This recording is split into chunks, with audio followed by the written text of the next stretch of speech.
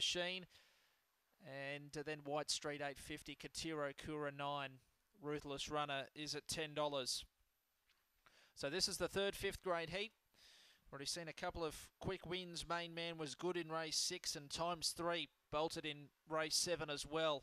So building towards a strong final next week. As the green light goes on, another chance 225 and a favourite for race number 10 set to go now racing and getting away moderately there. Another chance is looking to work towards the front, pushing through those Supreme Machine, found the leader, getting to second Katiro Kura, and they were followed next in the field by Alpha Ruler. Well back then over on the rail, Ruthless Runner from another chance, who's back in the ruck, deeper out White Street towards the end was Scoots first and Awesome Trinity. Around the turn, Supreme Machine in front, kicked clear. Supreme Machine too good, won it by four lengths. Katiro Kura second, six away in third. I'd say White Street in front of another chance, and they were